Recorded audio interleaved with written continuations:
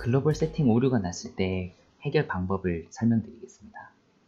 그 hyperDENT 실행이 안 되실 때 C 드라이브에 가셔가지고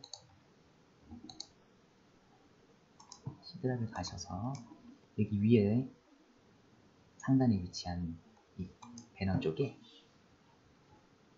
퍼센티지 app data 퍼센트를 누르시면 절대 경로로 이동하게 됩니다. 사용자 절대 경로로 이동하게 되면은 hyperDENT라는 폴더가 있는데 여기에 보시면 이렇게 세팅 파일이 생성이 돼야 되는데 hyperDENT 끄실 때 컴퓨터 외부 간섭에 의해서 꺼진다든지 에러가 생기게 되면은 이 세팅 이 파일이 생성이 되지 않아 가지고 글로벌 세팅 오류가 발생합니다.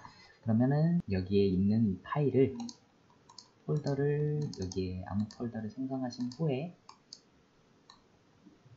폴더에 넣어 주시고 끄신 다음에 다시 hyperDENT를 키시면은 얘가 다시 그 파일을 임의의 파일을 생성하면서 글로벌 세팅 오류가 풀리게 됩니다. 일반 설정이 초기화됐을 때 해결하는 방법에 대해 설명드리겠습니다. 윈도우 업데이트가 되거나 한 번씩 설정값이 초기 설정으로 될 때가 있는데 그럴 때는 F4를 누르셔가지고 일반 설정 창에 들어가신 다음에 여기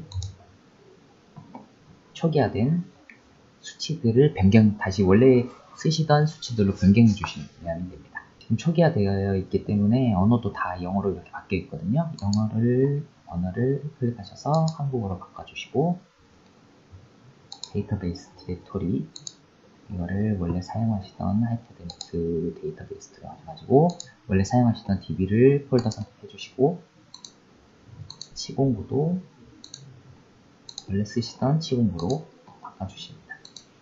임플란트 인터페이스랑 임시 디렉토리는 이대로 두시면 되겠고 그 다음에 마법사 로딩 넘어가겠습니다.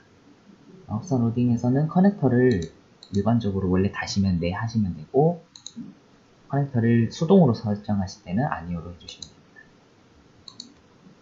관리 프로젝트는 프로젝트 불러올 때 그 고정 디렉토리 이게 맞으시면은 넘어가시면 되고 부품 추적 농도 점검에서 부품에 대한 안전거리 부품에 대한 안전거리 0.1로 하시고 치공부에 대한 안전거리는 2로 해주시면 됩니다. 2로 하시는 게 저희 hyperDENT 디스크 불러왔을 때 그 외곽에 디스크 가장자리 빨갛게 이렇게 안전거리가 있는데 지그, 지그와의 거리를 두면서 지그를 치지 않게 하기 위해서 안전거리는 2로 해주시면 됩니다. 커넥터 있음은 이 오류를 경고로 바꿔주시고 채널 배출구랑 밀링 경계의 배출구는 오류로 두 개 두시면 되겠습니다.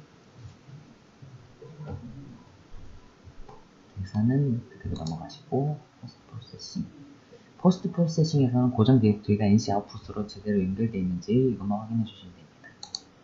탐색 탐색에서는 펜을 쓰실 때 이제 화면을 이렇게 이동시키실 때 보통 마우스 중간키를 이용해서 하시기 때문에 마우스 중간키나 아니면 본인이 편하신 마우스 우측키 플러스 컨트롤 키 이런 식으로 편하신 걸로 방향키를 지정하시면 되겠습니다.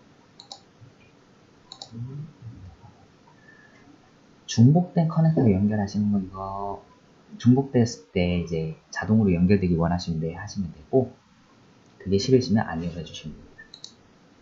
special setting에서 스크류 채널 스캔 알고리즘은 아니오로 해주시면 됩니다. 이거는 임플란트 인터페이스나 콜 지정할 때 세점 찍을 때 아니오로 해야지 인식을 잘하기 때문에 아니오로 해주시면 되겠습니다. 이렇게 하시고 나서는 재시작 해 주시면 네, 원래 쓰시던 대로 설정을 바꾸시, 바꾸셔서 사용하실 수 있게 됩니다.